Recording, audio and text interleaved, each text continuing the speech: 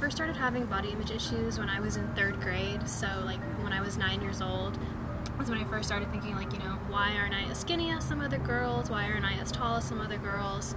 And so it just kind of progressed from there and got really, really bad in high school. And I'm still dealing with it, to be honest. I feel like it's one of those things where once you get that idea embedded into your head, you're never truly going to get rid of it completely. You just have to start learning ways to manage it and to control it. And um, they're unfortunately always going to be a part of me, but I'll learn how to get better at managing it. So it's important to uh, just be aware of the early signs of an eating disorder mindset. The sooner that you're able to catch it, your chances of recovery definitely increase. There's a lot of different signs. Uh, some of the most notable ones are just an increase in behaviors and attitudes that are really um, centered around weight loss, uh, dieting, and control of food. I definitely did not feel very good about myself. I would always put myself down, especially like when I was doing things like eating dessert or just kind of enjoying life. It'd be like, why are you doing this to yourself? You know, this is gonna make you fat. When I was younger, all I really was doing was dieting. So when I was in like fourth and fifth grade, I completely cut myself off of sugar, which is like horrible for a 10 or 11 year old to do. I would also like try consciously to like eat vegetables and fruits like but obnoxiously so so that it was kind of an unhealthy obsession with like always making sure i was eating like green stuff. Uh, another big one is just preoccupation with uh, weight food calories uh, carbohydrates fat grams um, and dieting just in general. Whenever we went out to eat to restaurants i would purposefully order the thing that had the least amount of calories and then i would only let myself eat half of it. Even if I was still hungry afterwards, I would not let myself eat anything else. And so I wasn't necessarily like completely starving myself, but I was definitely depriving myself of food, which is definitely not a healthy thing. Another big one is skipping meals or having just rigid rules around food. Those are some of the big ones, but there's definitely a long list.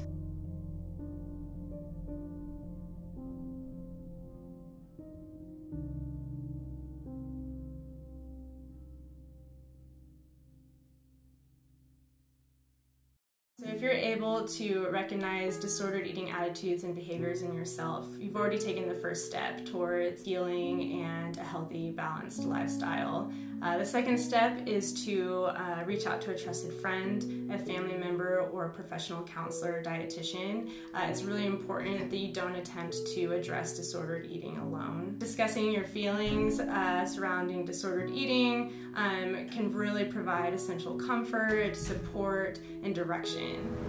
It definitely took a lot of time and a lot of work for me to overcome this. It took a lot of support from my parents and my friends. Once I started competing in pageants, they encouraged me to have some kind of platform and community service thing that I was passionate about. I wanted to do something personal, and so I thought a lot about it, and I'm like, well, I've been struggling with this for a long time, and it started when I was in elementary school.